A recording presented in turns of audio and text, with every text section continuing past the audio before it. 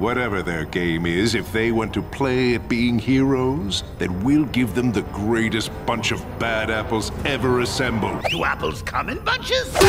We'll show them how we do things on our Earth.